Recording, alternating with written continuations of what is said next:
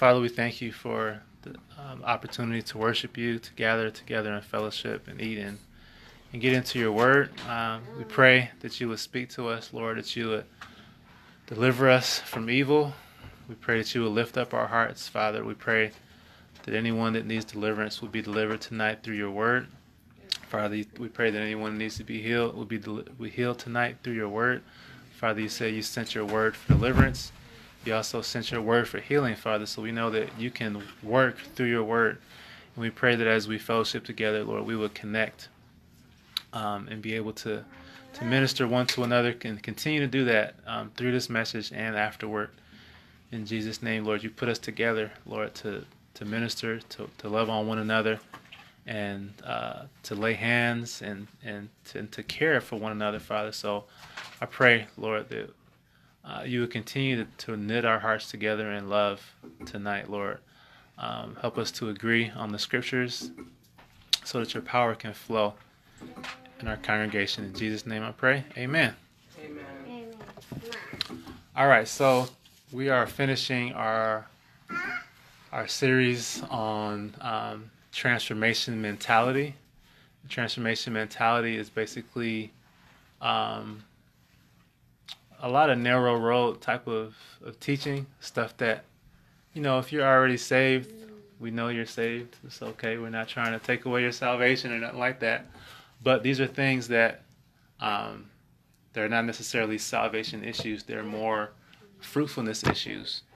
They're more um, you know you start out in the kingdom and you learn the basics and we're going to start basic training next week so please invite you know, people that need a new start, people that maybe backslid and maybe want to start again, um, invite new believers and everything like that um, next week. Um, but this week we are finishing the the narrow road series. I call it the transformation mentality, basically renewing everything and and looking through all the things that need to be looked at to actually renew our mind and totally transform us and be make us totally different and separate and set apart from the world system. We started out talking about, you know, the most high reigns over heaven and earth, talking about how we we we look at globes and we think that NASA and they went to space and all that stuff is is not even real. We look at um, then we looked at the second commandment, you know, getting rid of graven images and then looking at the commandments. We looked at taking our brains back, taking our brains back from entertainment, taking our brains back from the education system and the lies that get taught in the education system. Amen. Then we we went to, we went through mind, we went through money, we went through marriage, and we went through ministry. So we went through. We talked about the kingdom economics, renewing our mind on how to share with one another. How even from the Old Testament to the New Testament, we always were commanded to be to to help each other. Um, and how in the New Testament he said um, that there may be inequality, you know, and so how we have a responsibility to help one another. And we talked about the purpose of the tithe and offering, and a lot of people are confused about tithing nowadays. But really, the main thing to understand is that the purpose of the tithe, the tithe is set forth for a purpose, is to bless the poor, is to father the poor, the poor, the fatherless, and the widow, is so that the priests and the teachers can be supported, is so the singers and musicians can be holy and supported, you know, by the tithe, and this is for the administration of the ministry and it's really simple. And if we're going to rebuild the tabernacle of David, that's part of it. Um, then we also talked about marriage. We talked about ending the attack on men. Um, and we talked about how feminism is a weapon of mass destruction and how feminism has really wrecked uh, the body of Christ and has wrecked marriages and has wrecked the churches. Uh, we talked about that, and then we went to ministry. And so, mind, money, marriage, ministry, transformation mentality. And uh, so we, we last week we started ministry, and we talked about um, you know just confirming your obedience to the word, and uh, getting rid of appearance, getting getting rid of appearance-based ministry and going to the heart. Okay, um, and so today our last message we're going to talk about uh, principles of sound biblical interpretation with tough topics. So we're going to look through principles of sound biblical interpretation, and then we're going to cover some tough topics and use those principles to come to an understanding and conclusion on those tough topics. This is This is going to be a deep message. This is a very hard message. This message has some some stuff behind it. You know, this message will lose you some friends. I've lost friends over this stuff, and this is like this is some hard stuff to teach, but it's very necessary. And this is uh, is where this this this is the type of message that comes from personal experiences of pain and suffering, like praying to God, like God, where, how do I understand this? How do I get this? And that's where this message came from. All right, so um, first thing I'm going to talk about is number one, don't let seminary, well, it's not number one, just a statement. Don't let seminary scissors steal your inheritance. Seminary scissors. I, I quote unquote trademark that term, but seminary scissors is what I call something that um, that is commonly taught but is not true, and they'll teach you how to cut certain scriptures out of your Bible. Oh, that was just for that culture. Oh, that was just you know that's not really that doesn't really apply, and those are sem- what I call seminary scissors, and what seminary scissors are set to do. Seminary scissors will steal our spiritual inheritance from us. It's a thief. So, renewing your mind in the authority of Scripture requires you to let Scripture interpret Scripture. Let Scripture interpret Scripture. If you want to interpret Scripture, you have to use Scriptures to interpret Scripture. Only the Word, only God knows the Word of God. Only the Holy Spirit knows the Word of God. If you let seminary scissors cut stuff out, then you'll never really understand the Word of God. Don't get caught up using some somebody's seminary scissors to cut out the scriptures you don't like.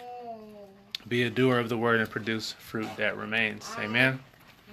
All right, so we're going to talk about using scripture to interpret scripture, and we're going to talk about principles of sound biblical interpretation. I'm going to write these down on this little sheet here, and then we're going to talk about them with some tough topics and use these principles.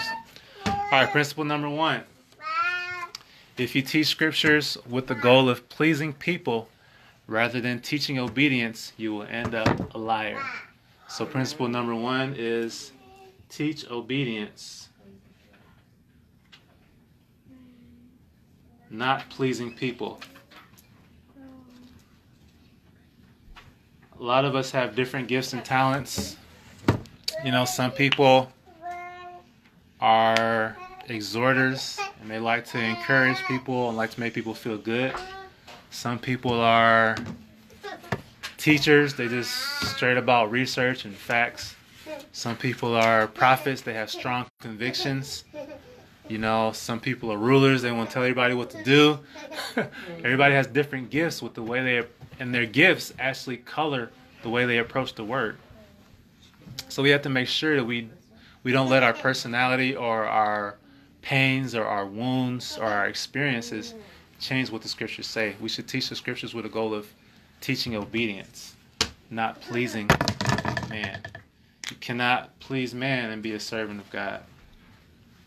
So if you have a friend doesn't want to hear it and you change it because your friend might not like it, you're going to end up a liar.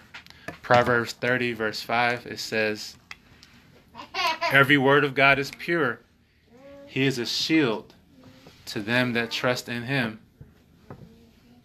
Add thou not to his words, lest he reprove thee, and thou be found a liar. So if you teach to please people or to make people happy rather than to teach obedience, you end up a liar. Um, Matthew 5 has a scripture concerning this too. He says, if uh, he said, if well, let's see, let's turn there. Matthew chapter 5. Yeah, teach men to disobey them, then you'll be least in the kingdom, right? Matthew chapter 5.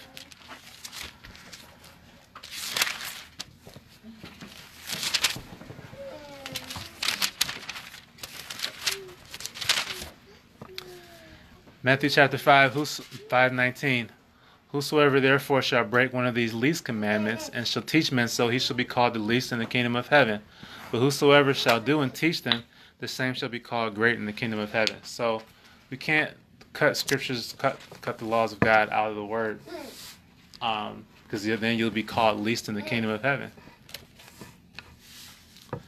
Okay. Um, number two, integrity, not excellence, gives you stability. Be sound, be stable. Okay. So a lot of times people think it's about your intelligence. They get these degrees and they have their nerdhood, and they think being a nerd qualifies you for for being a teacher. You know, a gift of a teacher is a great gift to have, but if all you have is smartness and intelligence, you don't really have a lot because it's integrity, not intelligence. Integrity, not intelligence. That's number two. Principle of sound interpretation is integrity, not intelligence. Everybody say integrity. Integrity. Not just intelligence. Not just intelligence. Okay, so integrity means to have a sound and stable platform as a foundation. If you build something with no integrity, then it's going to fall over. The higher it gets, it's going to fall over. Like the Eiffel Tower or the Leaning Tower of Pisa, right? You know, the foundation was a little bit off. The higher it got, the more it went off. Okay, so it's integrity that gives you a solid foundation. You have to build it brick by brick and be stable. Don't take any logical leaps. Oh, I don't want to believe this. I'm just going to think this way. No, you need to have integrity. A scripture for that is 1 Thessalonians 2. Let's go to 1 Thessalonians chapter 2.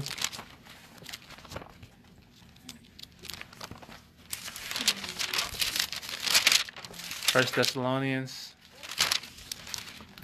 chapter 2 verse 5 it says oh let's go actually just verse 3 it says for our exhortation was not of deceit nor of uncleanness nor in guile but as we were allowed of God to be put in trust with the gospel even so we speak not as pleasing men but God which tries our hearts for neither at any time use we flattering words, as ye know, nor a cloak of covetousness, God is witness, nor of men sought we glory, neither of you or nor yet of others, when we might have been burdensome as the apostles of Christ.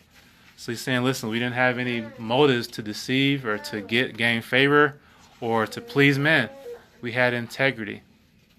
Another scripture for this is Second Thessalonians chapter 2 Verse 10 it says, With all deceivableness of unrighteousness in them that perish, because they receive not the love of the truth that they might be saved.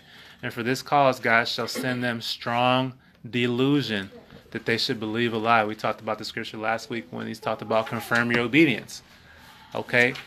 If you don't confirm your obedience, God can send you delusion. You know, just like Judas you know, and when as soon as the Satan entered into Judas, what did Jesus say to him? Jesus confirmed it. Go ahead. Do what you do. Do it quickly. So just because you hear God's voice doesn't mean you're doing the right thing. Sometimes if you seek God to disobey him, he'll say, Go ahead. I already told you what to do, but you don't want to do it, go ahead, right? So that's why it's integrity. And you don't you want to have the love of the truth so that you can be saved and not be deceived because a strong delusion will come to those people that don't love the truth. All right, that's principle number two integrity, not intelligence.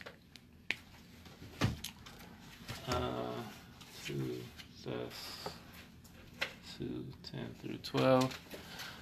principle number three of sound biblical interpretation.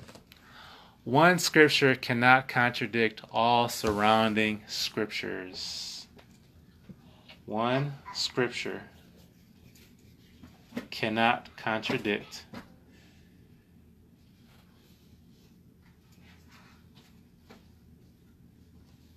all surrounding scriptures. When you're using scripture to interpret scripture, you can't take one scripture in the chapter and say, well, that cuts everything out. Did he already said? No. If you think that, then you don't understand it. Contradiction is twisting the scripture. Agreement is purpose. Okay? So when you find the purpose of scripture, you have agreement. When you have when you find when the scripture seems like it's contradicting, that means you've twisted it. All right. So point was number one principle: teach obedience, not pleasing people. Number two principle for sound biblical interpretation: integrity, not intelligent, not just intelligence. Principle number three for interpreting scripture: one scripture cannot contradict all the surrounding scriptures. All right. Point number four: the Holy Spirit expresses God's purpose. So, um, holiness means to be set apart for God's express purpose. The Holy Spirit, having the Holy Ghost, is very important in scripture interpretation because the Holy Spirit knows the prophetic purpose of God. Okay, just to give you an example of this, um, like I, like I said, there's a scripture in Isaiah. It says, "Behold, a virgin shall be born with child." Right?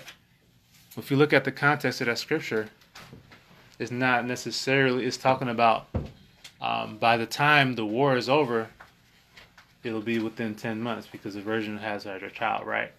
But in the New Testament, a new covenant, the Holy Spirit used that scripture to prophesy about Jesus because he was a virgin birth. The, Behold, a virgin shall be born with child.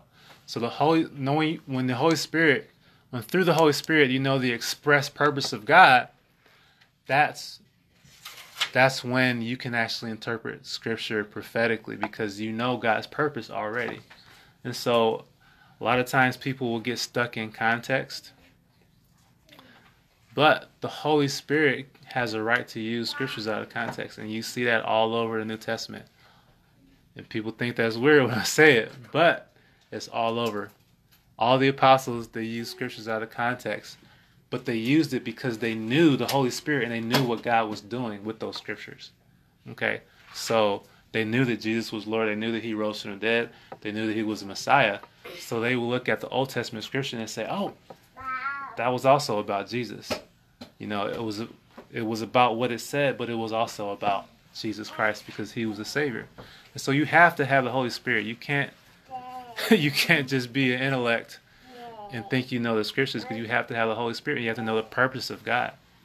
Okay, so that's uh, number four. The Holy Spirit expresses God's purpose. You have to have the Holy Spirit. Holy Spirit expresses God's purpose. That doesn't mean you can just take a scripture out of context and use it for what you want you know. but it does mean if you know God's express purpose, you can use that scripture as a form of faith in what He's doing. Y'all understand?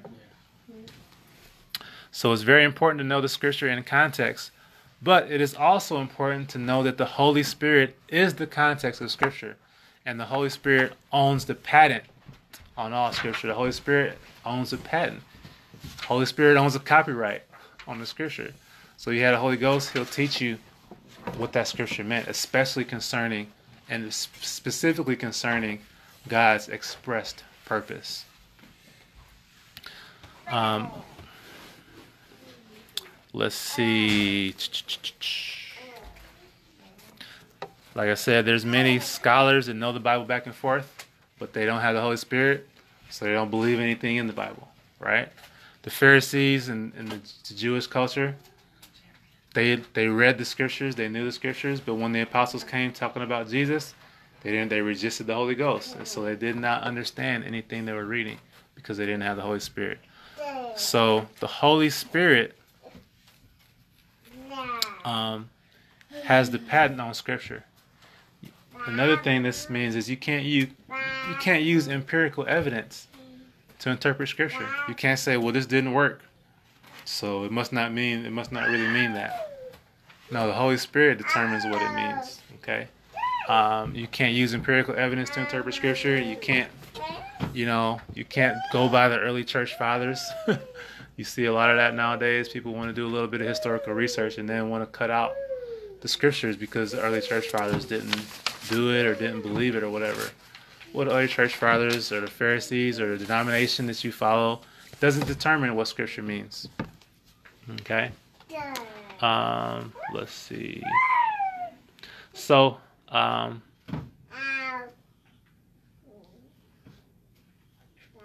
Apostolic doctrine ex- interprets Scripture according to Holy Spirit prophecy. So we have to understand, we have to be filled with Holy Spirit, and we also have to understand Holy Spirit prophecy and able to interpret Scriptures um, the right way. All right, number five principle of biblical interpretation.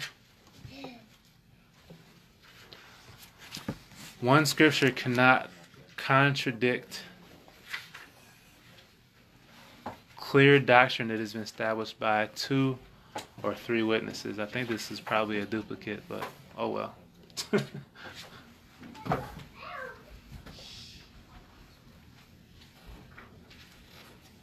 One scripture cannot contradict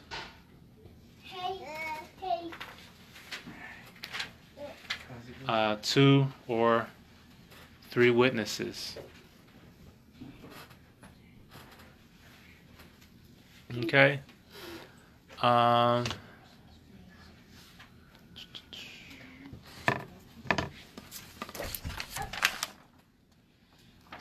okay, I know what this is about. This is a little different. So, one scripture cannot contradict two or three witnesses. The Father agrees with Jesus. Jesus agrees with the prophets, and the prophets agree with the apostles. So, one scripture cannot contradict two or three witnesses. The Father agrees with Jesus, Jesus agrees with the prophets, and the prophets agree with the apostles. When you talk about apostolic doctrine, it's all harmony. Everything is based on harmony. And the clear one of the one of the biggest mistakes people make is they believe that the New Testament is different from the Old Testament. Um, you know that the Father doesn't agree with Jesus. It's all one book. It's one God. You know the apostles agree with the apostles agree with the prophets. The prophets agree with Jesus. Jesus agrees with his Father. It's not two different. You know, I mean, it's it's new ministrations. You know, we talked about that a few weeks ago, but it's one scripture. The scriptures cannot be broken. It's all one story. Okay? Moses administered the law a certain way, but Jesus administered it in a better way. Okay? So they agree, right? And and the, the prophets agree. And even Mo, we're going to talk about how Moses came and told them, like, listen, somebody's going to come. and these, you know, hear him, right? So they agree. Okay? So one scripture cannot contradict two or three witnesses. There is always harmony between the Father, between the Son, between the prophets, and between the apostles. Agreement is not only a goal, it's also a tool for interpreting scripture. Agreement is a tool because if you know there is agreement, then you know you can use that to interpret because I can say, listen, I know Jesus agrees with the Father. So if Jesus says something that I think is weird, let me see what the Father said about it, and then harmonize those things. Same thing with the apostles. If Peter, if Paul says something and you don't think Jesus said it, check again. I guarantee you, Jesus either said it or he lived it, and Paul just said it in a way that was different. Okay, so God's express purpose has already been declared the apostles agree with Jesus. Um, the apostles agree with the Holy Ghost and they agree with each other. The Holy Ghost agrees with Jesus. Jesus agrees with the Father. If you think there's a disagreement, you are wrong, not them. If you think that Jesus is or Paul is off, I guarantee you it's you. it's not Paul. Right? If you think that the Father in the Old Testament was off and Jesus is the real deal, I guarantee you it's you that's off. It's not the Father. Okay, so agreement is actually a tool for interpreting scripture. Okay. Uh, we're going to go through point six. Point six. Jesus is that prophet. Hear him. Jesus is that prophet hear him.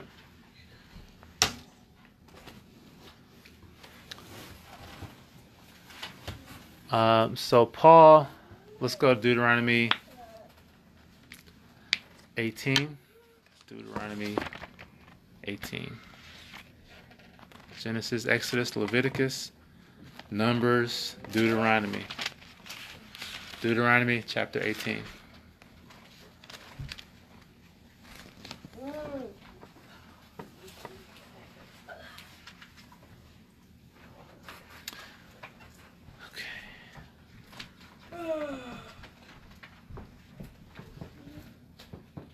Deuteronomy 18, verse 15 The Lord thy God will raise up unto thee a prophet from the midst of thee, of thy brethren, like unto me. Unto him shall you hear it, Heart, unto him shall you hearken. This is Moses, and he's saying, Listen, there's going to be another prophet from within our tribe, from within our, our nation, that the Lord is going to raise up. And what he, he's talking about, Jesus, he's saying, Listen, I'm giving you this, but guess what? There's going to be another prophet, and you need to listen to him. Okay, so they're in agreement. According to all that thou desired of the Lord thy God in Horeb the day of the assembly, saying, Let me not hear again the voice of Yahuwah my God, neither let me see this great fire any more, that I die not. And Yahuwah said unto me, They have well spoken that which they have spoken. I will raise them up a prophet from among their brethren, like unto you and I will put my words in his mouth, and he shall speak unto them all that I command him. And it shall come to pass that whosoever shall not hearken to my words, which he shall speak in thy name, I will require it of him. So Jesus, Jesus is that prophet. Hear him. So Paul never contradicts Jesus. Paul only clarifies what Jesus actually does. Paul received direct revelation directly from Christ. You see that in first in Galatians chapter one. Paul received revelation directly from Jesus Christ. Let's turn to 1 Peter 3:16. Hebrews, James, 1st and 2nd Peter. 1 Peter 3:16 and actually no. Second Peter three sixteen.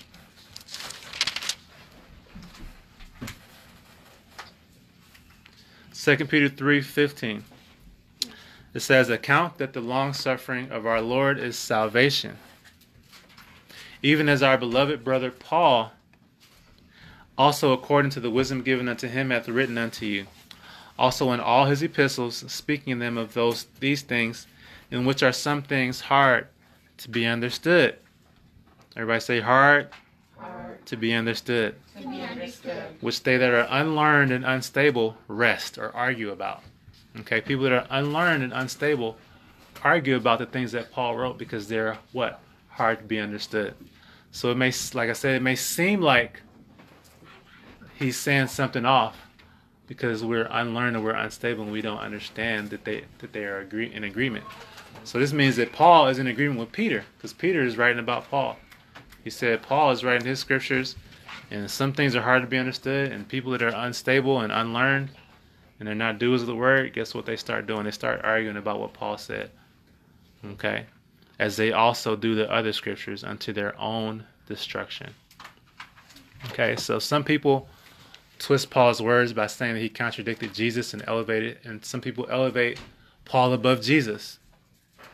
Paul, Jesus, Jesus said, um, you know,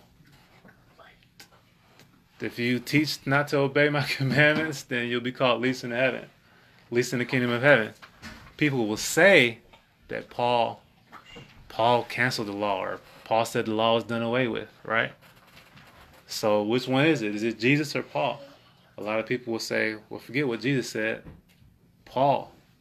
Paul had the real revelation. Jesus, he said that just because he hadn't gone on the cross yet.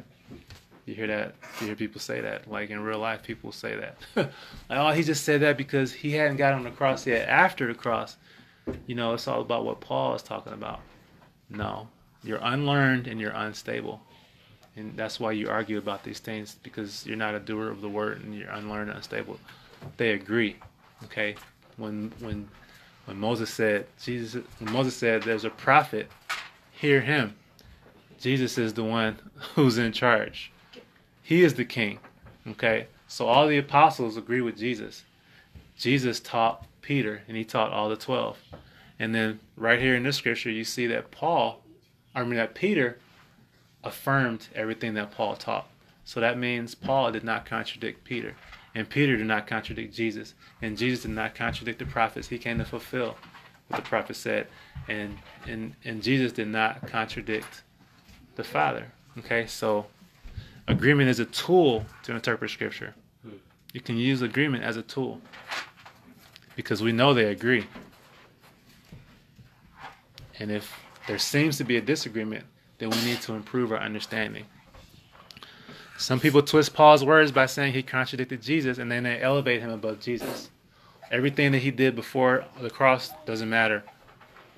You know, just just go with what Paul said. That's error. Okay? Some people twist Paul's words by saying that he contradicted Jesus, so he's a false apostle.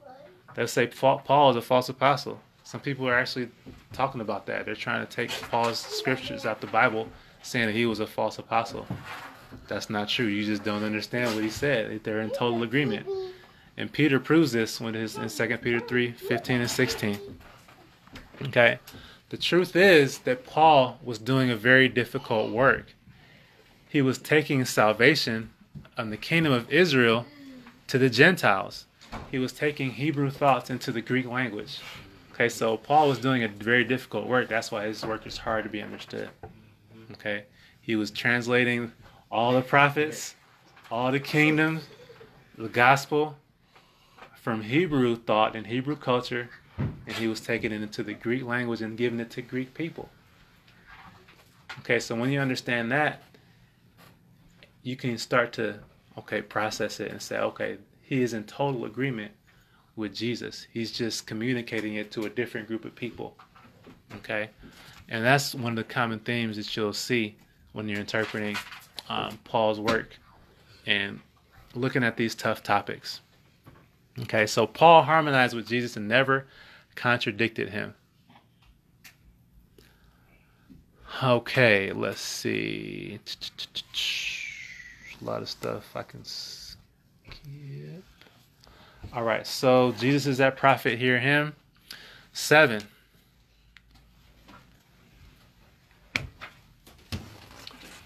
Seven is rightly divide the word.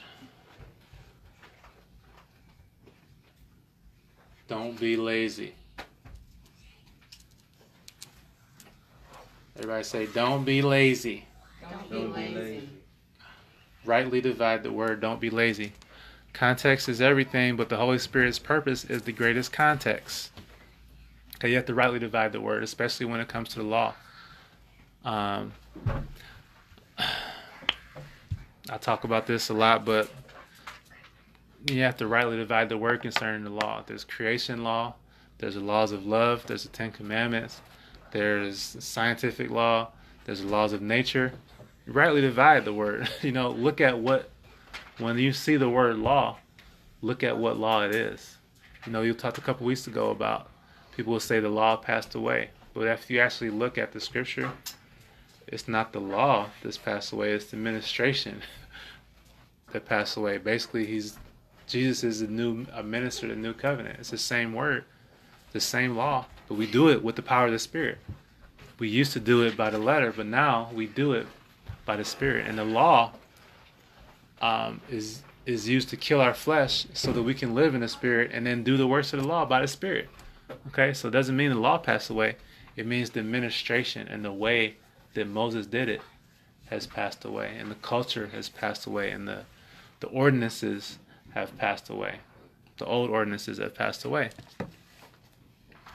Um, so we have to be able to rightly divide the word in terms of reading comprehension and rightly divide the word in terms of looking at the context of what law is being spoken of in that scripture. Um, if you check the context, the only ordinances and commandments that Paul spoke anything against were the ones that divided Israel from the Gentiles. Why? Because God's express prophetic purpose was to unite every nation in Christ. Okay, so that's an example of four. The Holy Spirit expresses God's purpose. So we can use God's purpose to interpret the scripture. If we know that the Old Testament has a prophecy about Gentiles coming into the kingdom, then we know why Paul is saying certain things have passed away because those are the things that were meant to divide Jews from Gentiles. But now, since Christ died on the cross, we're no longer dividing Jews from Gentiles. And so now, those ordinances that divide Jews from Gentiles are passed away. But that doesn't mean you can start to commit adultery, steal, kill. Like, it doesn't mean all the laws pass away. It just means the things that divide Jews from Gentiles are passed away. Okay? So, um, that's an example of rightly dividing the word and using these tools. All right. Principles for sound biblical interpretation number eight. When in doubt, check a concordance.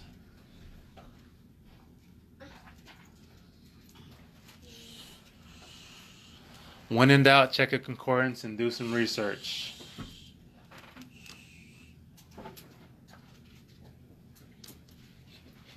Let's turn to Proverbs 25, verse 2.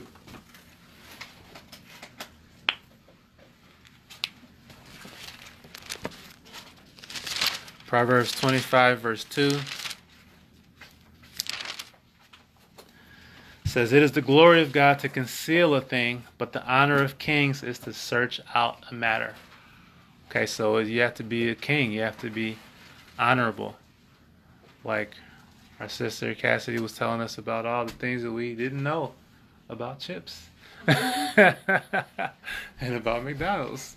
She was she was marshmallows, and CJ was breaking it down too. It was like there's some young kings in here doing research out here to get hip, hipping us to the knowledge, right? so, um, it's the glory of God to conceal a matter. The honor of kings is to search out a matter. It's okay to search out something. When in doubt, check a concordance. Look up the definition of the word. Do some research. Okay? Don't be lazy. All right. Principle, principle of sound biblical interpretation. Number nine. You don't know it till you do it.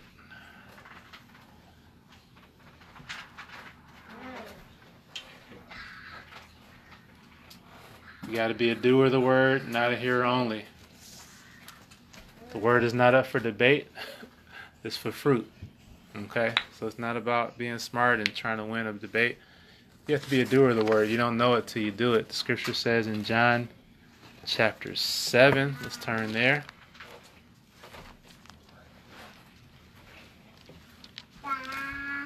John chapter 7, verse 17.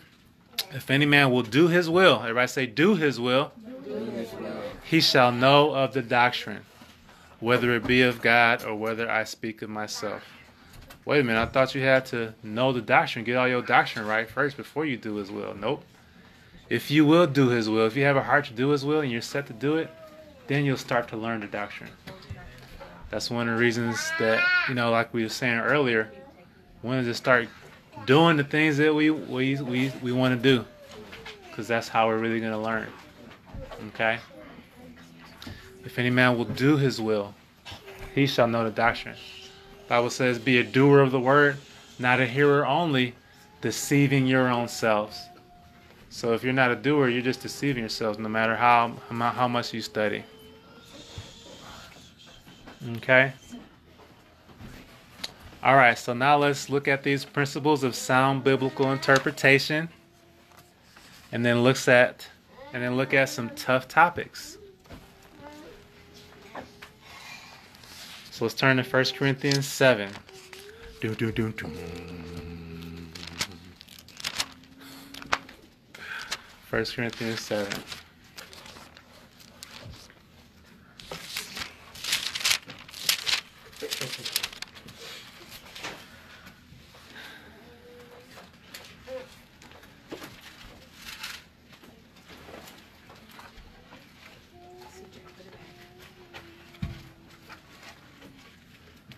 First Corinthians 7, verse 10, it says, Unto the married I command, yet not I, but the Lord. Who commands this? The Lord.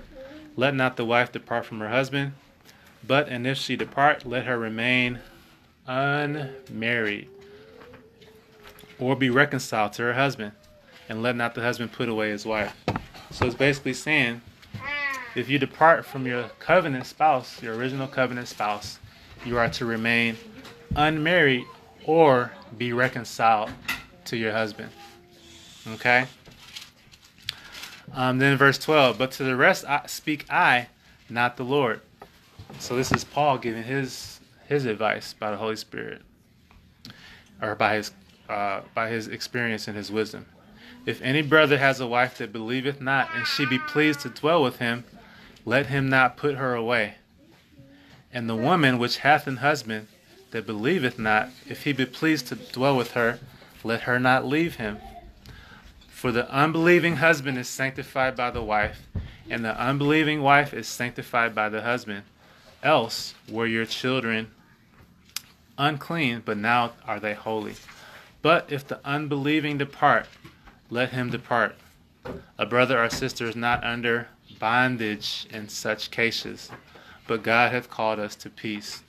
For what knowest thou, O wife, whether thou shalt save thy husband? Everybody say, save your husband. Save your husband. How knowest thou, O man, whether thou shalt save thy wife? Everybody say, save thy wife. Save thy wife. Okay, so people will take verse 15 and says, if the unbelieving depart, let him depart. A brother or sister is not under bondage in such, such cases. And they'll use that one scripture to change everything around it. When you look at what's next, it says, you might save your wife. So he still calls her the wife. He still calls her the husband. Okay? And then in verse 11, it says, if she depart, let her remain unmarried. So that means if you have to depart or you have to leave your spouse, you should remain unmarried. Okay, so when people get caught up by that word bondage, okay, so we just use one scripture, one principle. One scripture can't contradict all surrounding scriptures. So if you use verse 15 to contradict everything that surrounds it, that's error. Uh, let's go back down to verse 39. It says, The wife is bound by the law as long as her husband liveth. But if her husband be dead, she is at liberty to be married to whom she will, only in the Lord. So the wife is bound by the law as long as her husband liveth. Okay, so you can't take verse 15 when it says bondage and then use it to contradict everything that's around in that chapter. Let's go to Romans chapter 7.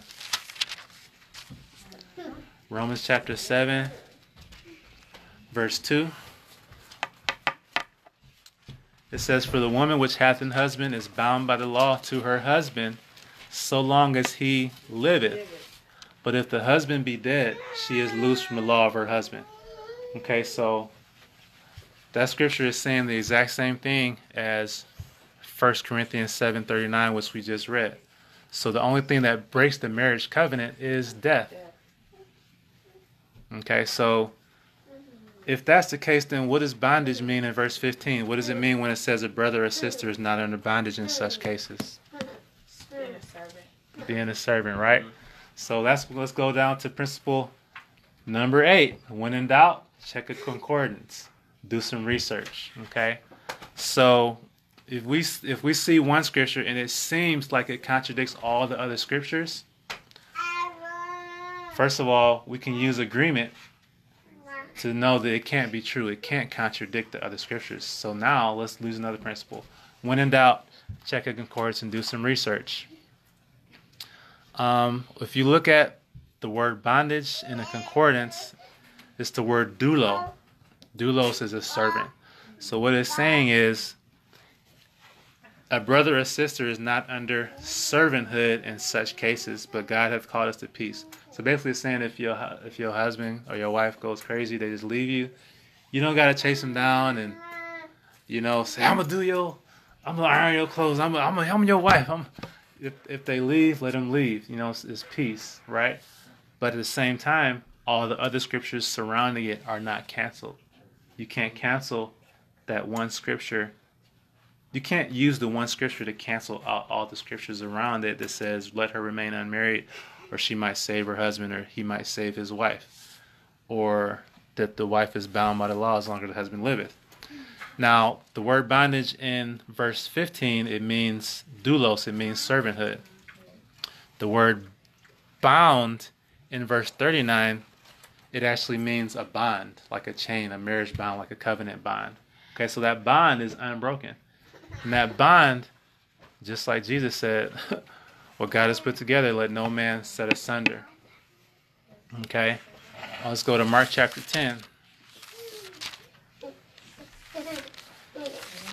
Another scripture that agrees. We talked about how Jesus agrees with the apostles.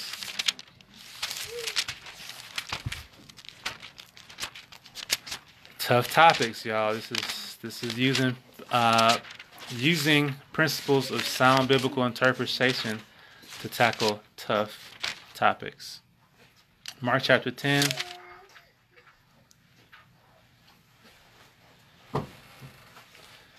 Verse 11, it says, Jesus said unto them, Whoever shall put away his wife and marry another commits adultery against her.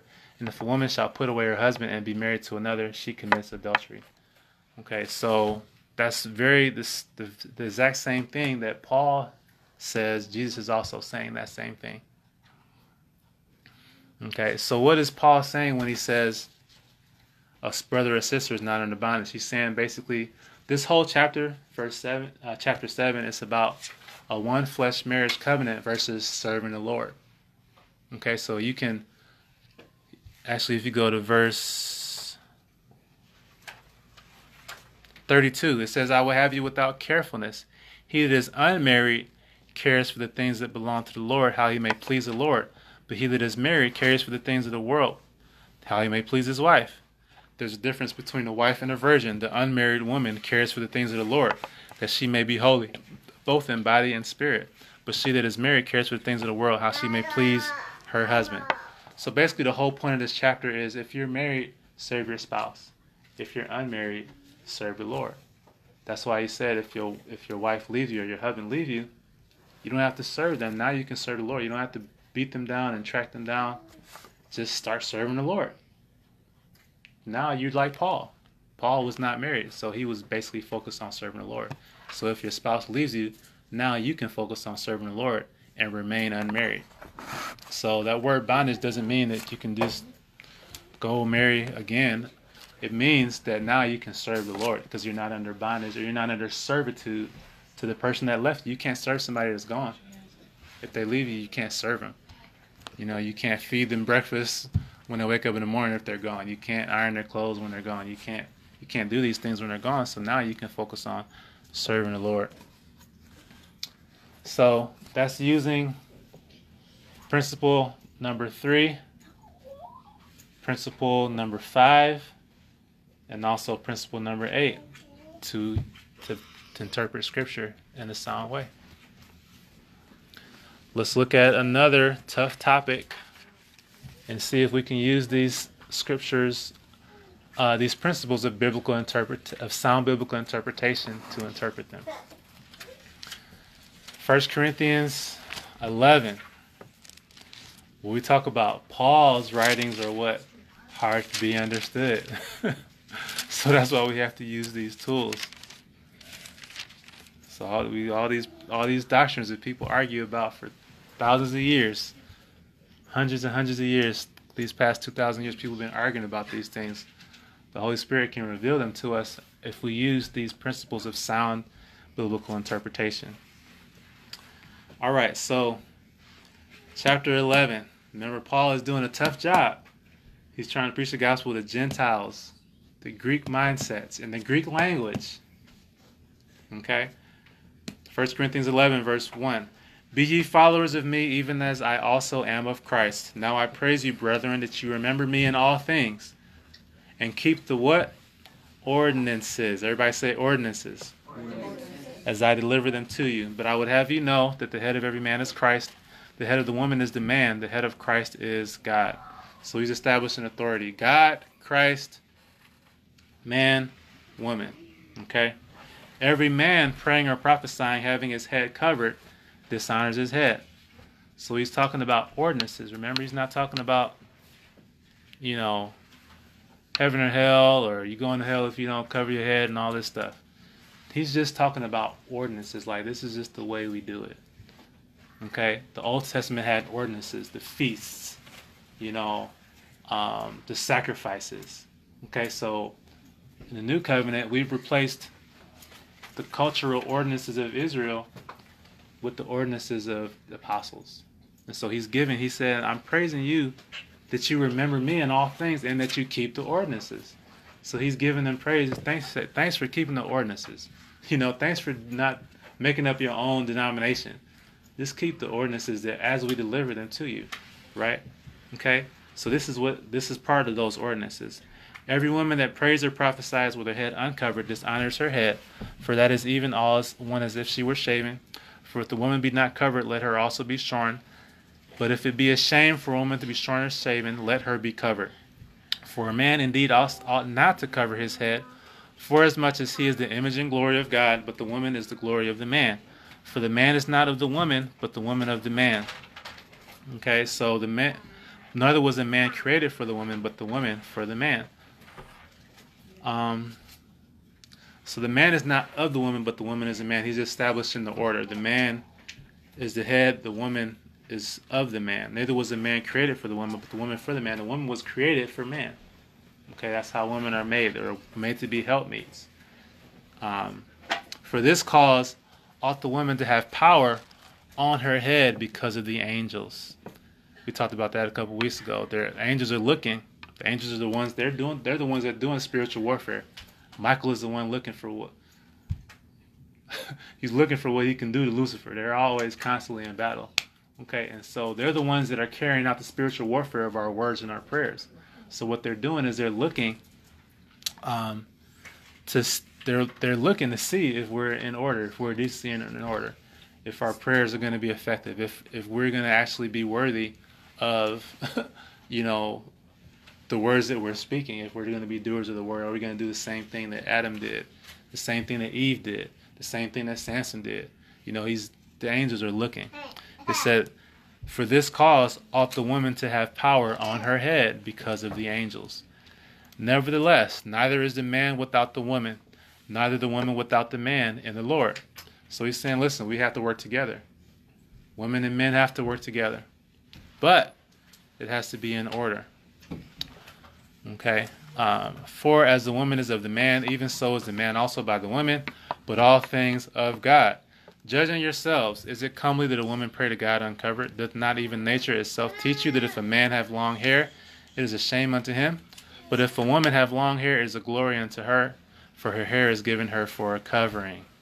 But, this is the scripture that people use to do number three again, right? But if any man seem to be contentious, we have no such custom, neither the churches of God. All right, so alarm bells go off everybody, when people teach this scripture, the seminary scissors will say, all right, so since verse 16 is there, let's just cut out verse 1 through 15 and just scratch it out of our Bible. That's what the seminary, seminary scissors will say. But if you look at principles of sound biblical interpretation, number three, one scripture cannot contradict all the surrounding scripture. Okay? So that means we have to dig deeper and find out what this really means. Okay? So let's take a look. Um, so, when we look at, like I said, when we look at verse 2, we're talking about ordinances. Okay? So the head covering is a reflection of the submissive heart. Number one, it's a reflection Number two, it's a reminder. Number three, it's a sign to the unbelieving or unlearned eyes, and also, it's also a sign to the angels, because we saw the scripture. The woman ought to have power on her head because of the angels. Okay, so it couldn't be a cultural thing because if you look at all the the scriptures in it, it wasn't about culture. It was about creation. It was about how women were made, how men were made. It was about spiritual spiritual warfare, what the angels looking for. It was about the ordinances of the assembly, how we come together to God's throne in decency and order. So the point of this whole doctrine or this ordinance is to display order. Because that's the first thing he talked about. You keep the ordinances, but I will have you know at the head of every man is or the head of every man is Christ, the head of the woman is a man, the head of Christ is God. So he's basically establishing order. In order to have an ordinance, you have to have what? Order. The order creates the ordinance. And so what this doctrine is, what this ordinance is, is a display of the order that God has designed. It's a display of the order. And what he's saying is when we show up to the throne as an assembly, whether we're meeting, you know, in the word or we're meeting in prayer, uh, when we show up to the throne as an assembly, at his throne, he wants us to come in decency and in order. And the ordinance is what we use to display that order. And that's what the angel's looking for. Okay? Um, so the order is the cover and the uncover. Okay? So the order is that the women are covered and the men are uncovered. Why does the woman cover her glory? Because the glory should be for the God for God, right? We shouldn't have to come into an assembly and look at all the beautiful you know, I mean women are beautiful, period. But the Bible says, let no flesh glory in his presence, right?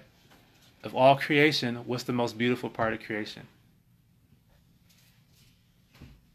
What's the most beautiful part of creation that God made? The earth. Nope. The most beautiful thing that God created in earth is a and what specific human is it? It's the woman. It's the, oh. the woman is the most beautiful part of creation, right?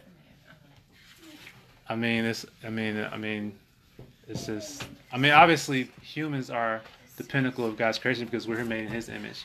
And who are the most beautiful humans? The women. They were made more beautiful than men. Okay, and so the covering. That's why we talked about last week. Or was a couple weeks ago. The reason we have to be, the reason women are commanded to dress modestly, is because we don't want because we don't want the fle- flesh glory in his presence. And as a woman, you know, the scriptures command it's okay to be beautiful, but just turn down the volume a little bit. turn out, just turn it down. Take that 10 down to a six and a half, maybe, you know, just cover it up, you know, just so, just so that when we come to the throne and we pray, you know, God can get the glory. Right. But um, yeah, the covering is for the angels, right? But um, it's also Bible also talks about let no flesh glory in His presence, right? And so that's why He talks about the glory. Um, let's see. If a woman have long hair, it's a glory to her, for her hair is given her for a covering. Okay, so it's saying cover the hair because the hair is a woman's glory, the long hair is the glory. Okay, so it's not necessarily something that, oh, you're going to hell or you're not going to hell or nothing like that. What it is is an ordinance, and what our ordinance is for. He said, I have ordained you to bring forth fruit, that your fruit will remain. Okay, so, um, let's see. So the shame is a long hair, short hair. The shame is not the order. The shame is to help us to understand the order. So a lot of people get this scripture confused. They'll say, um, they'll take the shame part and say if a man have a long hair, it's a shame to him. Okay, and they'll take that the ordinance. But the shame is to this is to explain the ordinance. Okay, so that's why it says, uh, let's say if it be a shame for a woman to be shorn or shaven, let her be covered. because the shame is the opposite of glory, right? So if it's a shame for your hair to be bald, that means it's a glory for your hair to be long. So if it's a glory for your hair to be long, then cover it up because let no flesh glory in his presence. Let us be modest when we come to the Lord's throne so that we can focus on the Most High and not the beauty contest. Not the First Lady. Oh, look at the First Lady. How pretty You know?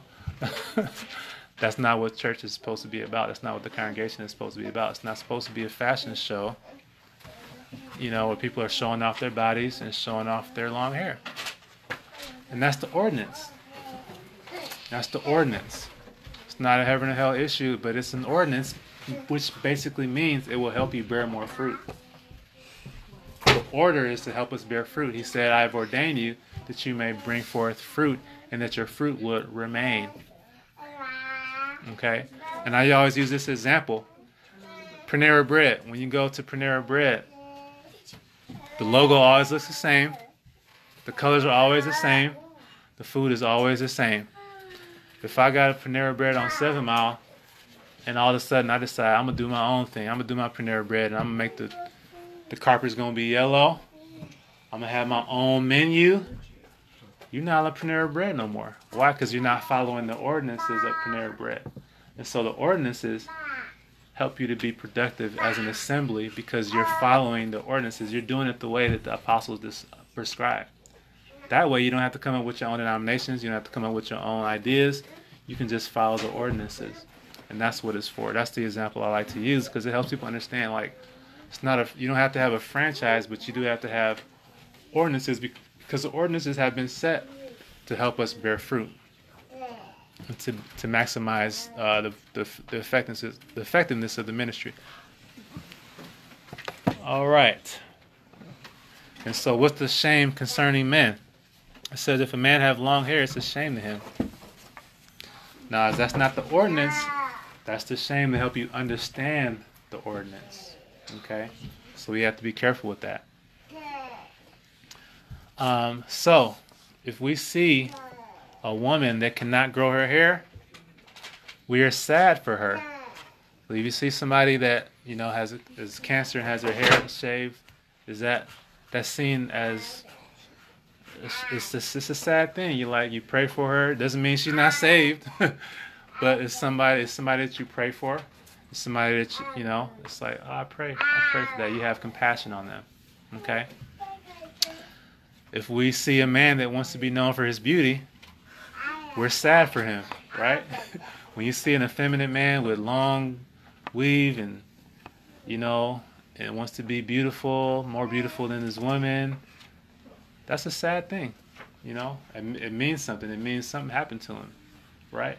Doesn't mean he's automatically going to hell. Doesn't mean he can't be saved. Doesn't mean we hate him. It just means it's a shameful thing. Okay, okay. So, so that's how we understand the shame, and the shame helps us to understand why the ordinance is there. Okay, because we want to be fruitful. Um, so the order is for the woman to cover her glory in God's presence and for a man to show that his glory is in the Messiah, not in earthly beauty. Or like those that are still looking for Messiah. You know, the Jewish men, they cover their head, right? Why? Because they're still looking for their Savior. But in the new covenant, apostolic order, the men uncover their head in the presence of God because Christ is our head. We already have our Savior. We already have our Messiah. So that's, like I said, that's why the ordinance is there, is to display something.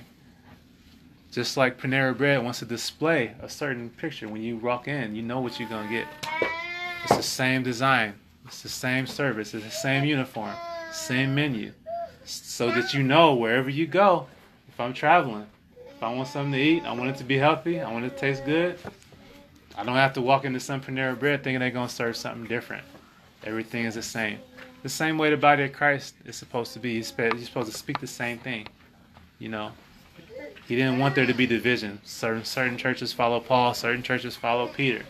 The reason we don't, the reason we have so much division in the body Christ is because we don't understand ordinances. If we understood the ordinances and house to house how that works, we wouldn't have any division. There would be no reason to divide because we would all just be doing example uh, exactly what what the Lord said. All right. So this is an example of why the ordinance is important. If you walk into a church and you see cleavage everywhere, what spirit do you think rules there? Jazzy, Jazzy, right? You know, like it's if you see cleavage and hips and long hair everywhere you walk into the church, y'all know you already know what it's about. You ain't even got to listen to the message. Like you know it's not gonna be. You know it's gonna be entertainment. Mm-hmm. You know it's gonna feel good, and nobody in there is gonna be changed. You know there's fornication going on in the choir. You already know it because you know the spirit of Jezebel rules. So the ordinances are meant to prevent that. Okay. If you walk into a church and you see a bunch of Absalom looking dudes with hair longer than women, what do you think is happening there? Same thing. Same thing, right? Similar. You know, you see men that don't really have their connection. You see, um, you know, it's a sad thing, but you know, you see a lot of. Well, it's a couple things. You know, the the abuse thing and the effeminateness because of the the, the abuse, sexual abuse, fatherlessness, um, but also it's a sign of captivity as well. It's a sign of captivity. And the reason I explain it like this is because every people has a glory, right? There's a glory of the European, there's a glory of the Asian, there's a glory of the Native American, there's a glory of the Hebrew, there's a glory of the African, right? And so if the glory of your culture is your what? Your woman, right?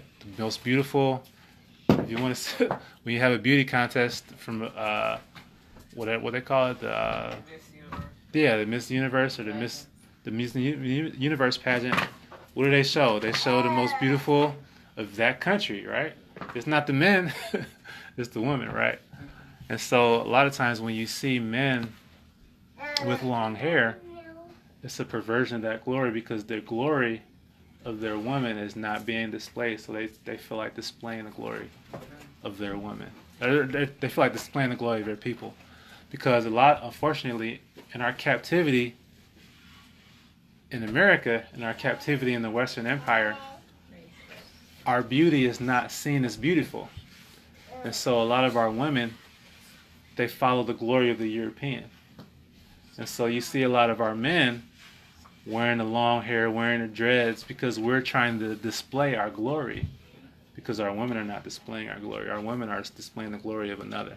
They're displaying the glory of the, the Indian, you know, the Asian. They're buying the hair from, the, and they're displaying the glory of the Asian, and, and the men are like, man, I'm gonna display the glory of, of our people, you know. And so it's a shame because it's a captivity thing. It's it's a result of not having our own glory being displayed. Okay.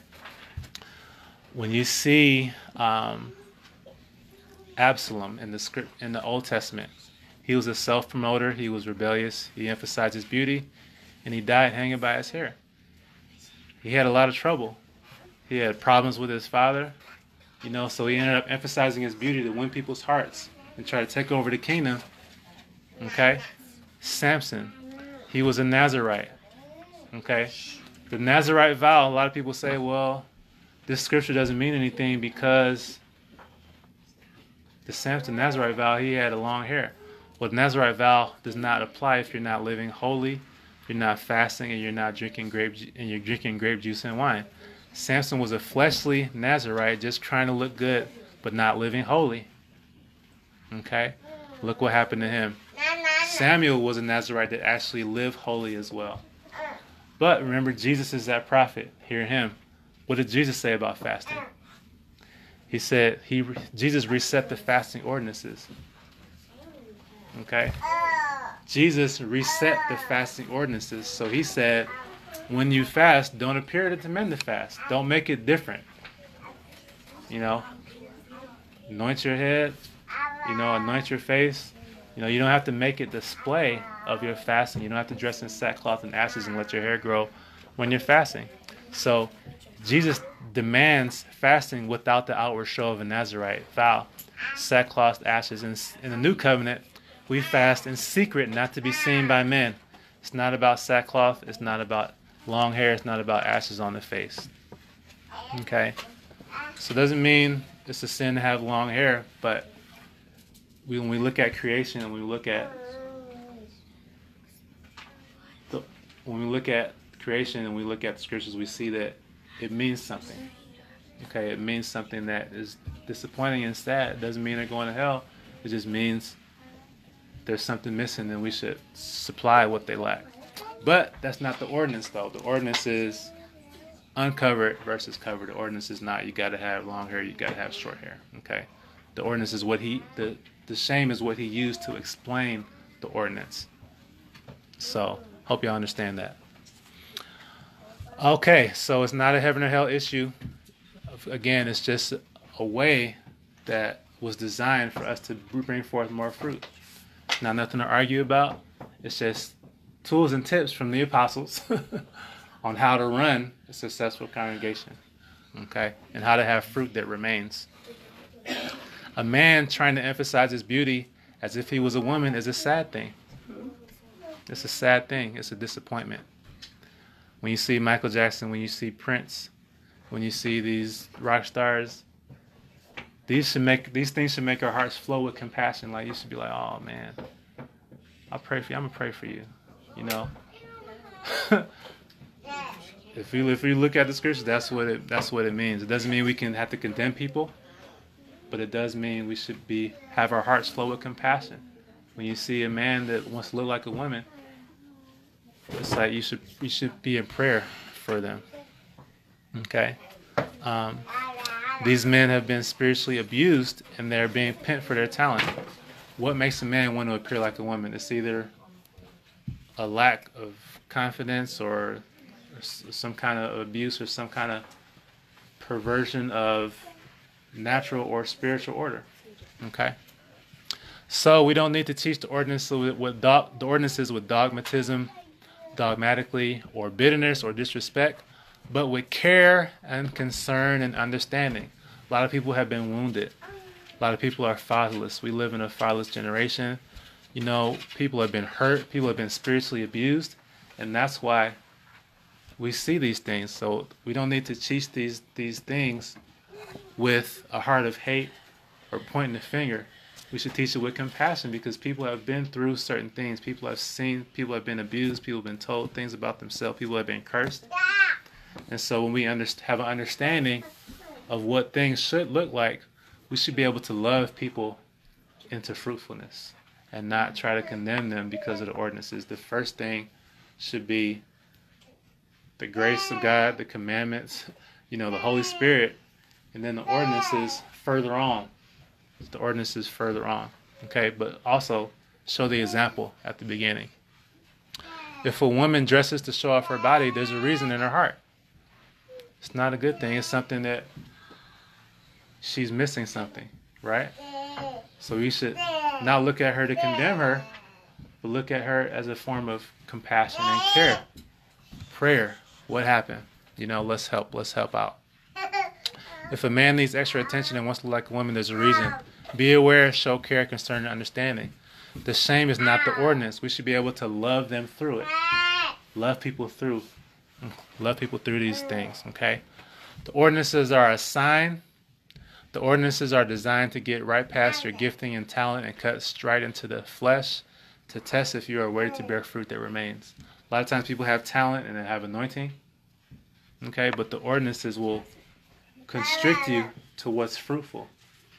And people want to depend on their talent and their gifting and their anointing, but the flesh will cut right past that talent and cause you to bear fruit. So a lot of times people will see your talent, like you shared earlier. People will see your talent and your gift, and they want to pimp you and use you. But the ordinances will constrict you, and then and you you won't be able to be pimped or used because you're staying within what God has said. Oh. Okay. And that's what's going to help you bear fruit that remains and not just be a flash in the pan and be flashy and get famous and make somebody some money but it's going to cause you to bear fruit that will remain. Some ordinances are not necessarily heaven or hell, but they are ordinances to create and display order. Order makes keeping the commandments easier. God's order creates God's results. Our ideas create disappointing results. Okay, so that's an important statement. God's order creates God's results. Our ideas create disappointing results. And that's why you don't have to argue about these things because the fruit shows up. the fruit of it is the fruit is obvious. You know, if somebody's arguing with you about the scriptures, you don't have to. Just bear fruit and let the fruit show us. Let this, the Bible says wisdom is justified by her children. Okay? Some forms of disorder are simply unfruitful. Some forms of disorder are harmful, unhealthy, demeaning, and disrespectful. And some forms of order are an abomination. Okay? So there's spiritual order, there's nat family order, there's natural order. Scriptural order and scriptural ordinances are for those who have made a choice to display God's glory in the way He has prescribed instead of the way they think will work.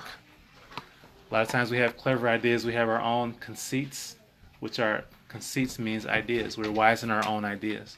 We're wise in our own conceits. I'm gonna do it this way for this new generation.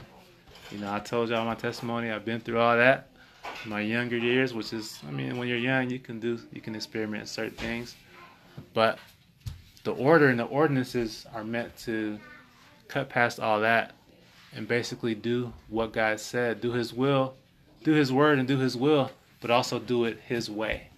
That's what the ordinances help us do. They help us do things His way so that you can have fruit that remains. Here's some questions that the ordinances answer. Why do I have to obey my husband if I'm smarter than he is? I'm more talented, I'm more gifted, I got more prophetic gifts. Why do I have to obey my husband if I'm if I'm better? Well, the ordinances will help you keep order, right? Because doing things your way, even if you're smarter, even if you're more talented, it's not going to work. The fruit is going to be rotten. Why do I have to cover my hair in the assembly? My hair is more beautiful than his bald head.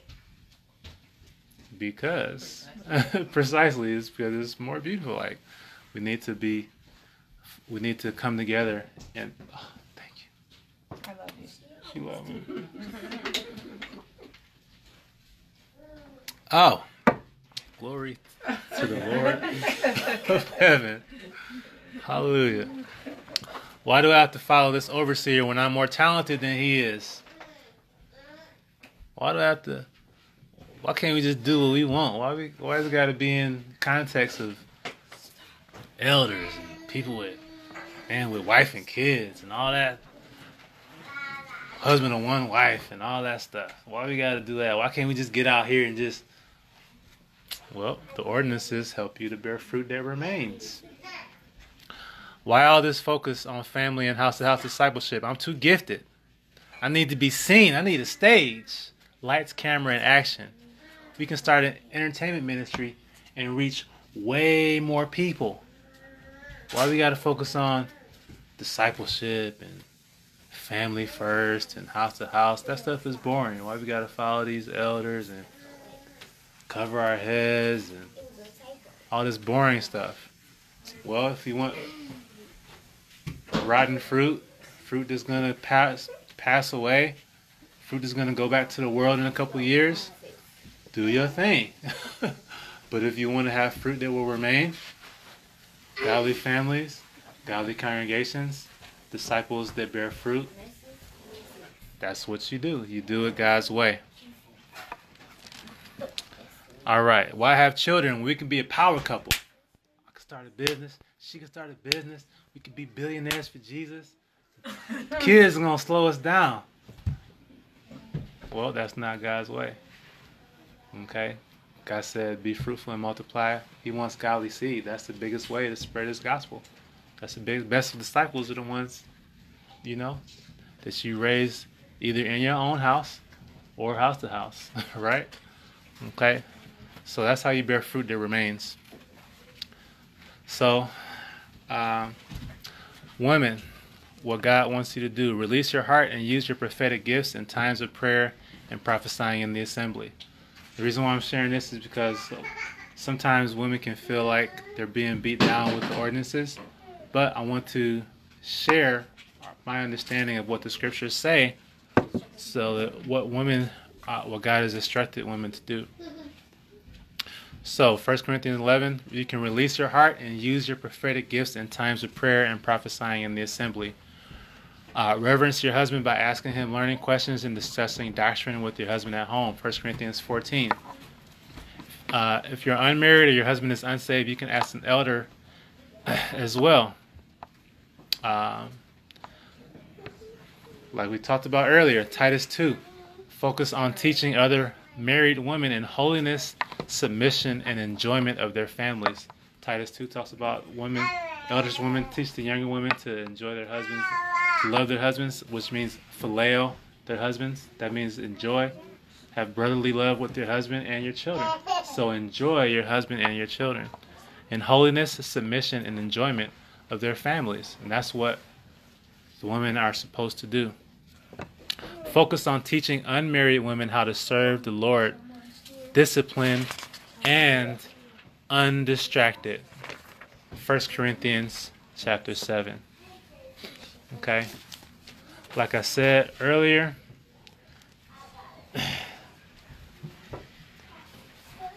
the ordinances are a reflection of the heart, they're a reminder to the mind, and a sign to the eyes. God's ways Order glorifies God in ways that we cannot control. Oftentimes, our ideas of glorifying God can backfire. Our ideas of glorifying God can backfire. But the ordinances glorify God in the way that He has prescribed, and they're guaranteed to glorify God. There's more glory to God for, just like we said in Titus, women obey your husbands that the word of God be not blasphemed a lot of times women will get out and disobey their husband because they want to preach or want to dis- want to glorify God. Then it ends up the word of God is ends up being blasphemed. All the time it happens. so our ideas of glorifying God can backfire. Order is not a heaven or hell issue, but it is a fruit issue. It will show up in your fruit. And that's why we teach it, not to condemn people, but to help people to bear better fruit. Herein is my Father glorified that you bear much fruit. I have ordained you, or one good thing to do on your own time is to look up every ordinance scripture, every time it says order or ordinance or ordain. All those related words and look at them in the New Testament. Okay? God is smarter than us. Some disorder can lead us further further into sin. There is disorder that leads to frustration. There's disorder to lead to divorce. And then the remarriage is adultery. So a lot of times disorder can lead to bigger sins. And so something that is not a heaven or hell issue can turn into a heaven or hell issue if you let it. All right, there's another tough topic.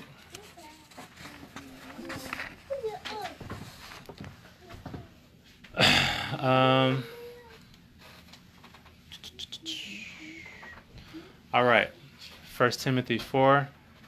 Why does Paul tell Timothy that we can eat every creature? Does that cancel out God's unclean and clean food laws in the Old Testament?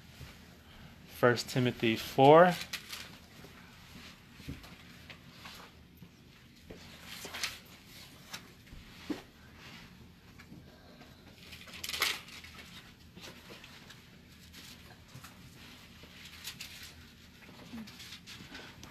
First Timothy 4 3, forgetting, forbidding to marry, and, com- and commanding to abstain from foods. The word means is foods, which God hath created to be re- received with thanksgiving of them which believe and know the truth. For every creature of God is good, and nothing to be refused, if it be received with thanksgiving, for it is sanctified by the word of God and prayer. All right, so what principle of sound biblical interpretation are we going to use? Number one, we're going to use one scripture cannot con- contradict two or three witnesses. The Father, Jesus, the prophets, and the apostles are in harmony. Okay? So, uh, the Father agree, Jesus and the Father agree, the 12 apostles and Jesus agree, and Paul and Jesus agree with the 12 apostles as well. So if Paul is teaching something, that means all the apostles agree. Okay, so if Paul says that all creatures are to be received and nothing to be refused, then that means he agrees with the Paul with Jesus. So what did Jesus say? Um, okay, so we can only interpret Paul's writings with the lens of what Jesus said and what Jesus did. Instead of twisting Paul away from Jesus, let's interpret Paul according to what Jesus said and did. So, first of all, let's look at the context. As an apostle, Timothy was on Paul's apostolic team. Timothy traveled with Paul. So, Paul was apostle and he was writing a letter to who? Another apostle. That's the first key of understanding. Paul was coaching Timothy on how to spread the gospel to new lands, especially what type of lands? Gentile lands, right? Timothy was an apostle also. This is a key to understanding. So, this is a letter that's being written to an apostle by an apostle. How did Jesus tell the apostles to spread the gospel? He told them to go to people's house. He said to find somebody's house, post up in their house, eat what they give you, spread the gospel that way. Preach, teach, cast out demons, right? And then in, the, in the Mark, he said, when you eat something, nothing shall by any means harm you. He said, if the serpent bites you, if you eat anything deadly, nothing shall by any means harm you. So Jesus was telling the apostles how to spread the gospel house to house, going to people's lands, going to people's houses and eating what they give you, and preaching the gospel. Okay? So that's how he taught the apostles. So that's why that's so if if Jesus taught the apostles how to do it, then he also taught Paul how to do it the same way. And then Paul was teaching Timothy how to do it the same way, right? So, Christ had already told his apostles to spread the gospel to the Gentiles. He had already told them that no poison shall harm them. And if they eat any deadly thing, it shall not harm them. Christ had already taught that spreading the gospel involves eating with friendly hosts in different cities. Okay? God gave, Jesus already gave Peter a vision to rise and eat unclean animals as a symbol of preaching and converting a what? Gentile household. This mean this meant that Gentile people were clean in the gospel, and that was seen in the book of Acts. Okay? The Hebrews as a culture tended to have pride in their separation from Gentile eating habits. This was a hindrance to the gospel. And Paul had already confronted Peter about that because he wouldn't eat with the Gentiles. Remember that in Galatians? Mm-hmm. Okay, so everything is in harmony. And so we know the purpose of eating whatever the whatever the Gentile sets before you is for the spreading of the gospel. Okay, so we can start to make that link. So if he's writing to an apostle, said, "Listen, nothing's to be refused. You sit down." You know, and it, it even agrees with the idolatry scripture. He said, "If you sit down and eat at a feast with a Gentile and they put something before you, go ahead and eat it, unless they tell you that it's for an idol. If they tell you it's for an idol, then that's a hindrance to the gospel. So don't eat it if they tell you it's for an idol. So it's all types of harmony. Okay, so when you preach the gospel house to house." You shouldn't do it with a laundry list of, oh, I ain't eating this, I don't eat this, I don't eat that, I don't eat this. This no, you're supposed to focus on the gospel and eat what they put before you. That's why the scripture is here. It's because when you're traveling to different lands, you can't say, oh, I don't eat this, I don't eat that, I don't eat that. Ah. You're supposed to just eat what they put before you. And if it's something ah. daily, eat it, it's not going to harm you. Ah. If they got parasites in it, and you don't know what it is, if they don't tell you what it is, they put a soup before you, you know, it's not gonna harm you. Worms swimming. Worms swimming in it doesn't mean you have to, but I'm saying, you know, the point is that if you eat any deadly thing, it will not it will not harm you. Not to offend the people that you're preaching the gospel to, by making them convert to Hebrew culture before they receive the gospel. And that's the context, and that's harmony. That's Paul harmonizing with the apostles. The apostles harmonizing with Jesus. Okay, So that does not mean that God's laws were voided or canceled. It means that even if you happen to eat a poison or unclean or untainted food by accident, just because you're in a Gentile land and they don't know, they don't know God's law yet, God will preserve your health for the sake of the gospel and not offending the, the kind, hospitable Gentile that is hosting you. Okay? So that doesn't cancel God's law. It's just the way that Jesus called them to preach the gospel as an apostle. You go to a new place, you eat what they put before you, and then you preach the gospel, you heal the sick, you cast out demons. You don't go and say, well, first of all, before I come inside your house, we're to get rid of the swine. We're to get rid of the shrimp. We're to re- No. You go, you preach the gospel, and you eat the gumbo, whatever's in it. you know, and then you pray that God will cleanse you from the parasites and you fast for three. You know what I'm saying? You do what you got to do afterward, right? That doesn't mean God's law is canceled. So we, so we're using rightly divide the word.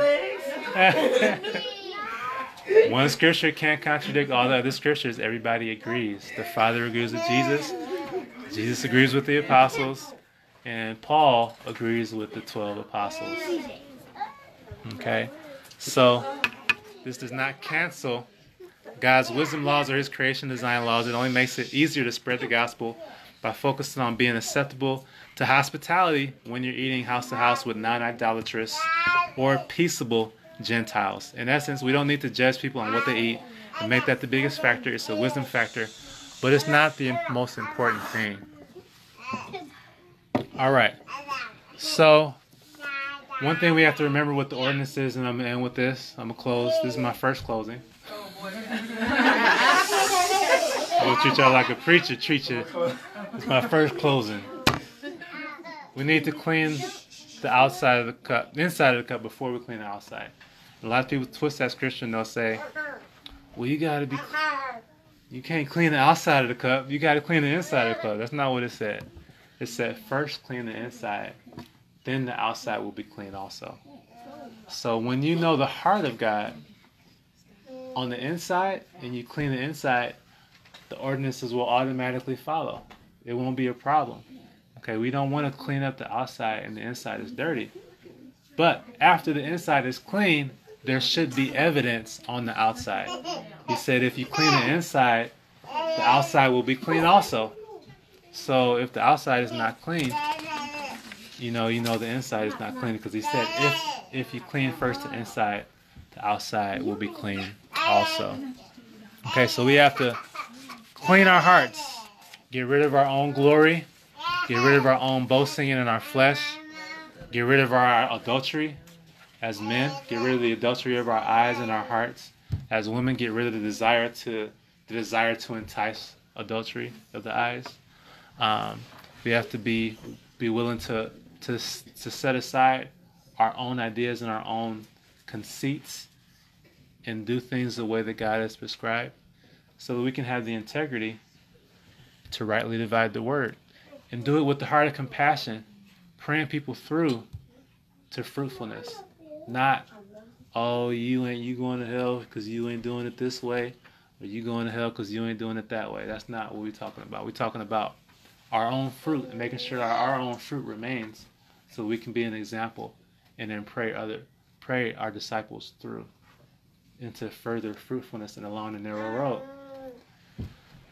And with that, transformation mentality 2018 is finished. so praise yeah, hallelujah. Father, we thank you for the opportunity to, to go further in your truth. Uh, to not just be satisfied with surface and be satisfied with uh, just being saved and make it in, Lord. But we want to be fruitful, Lord. We want to be transformed by the renewing of our mind and really take a fresh look at your scriptures and see what you said, what you actually said. Help us to, to be able to rightly divide the word and use sound principles of biblical interpretation to make sure that we bear fruit that remains.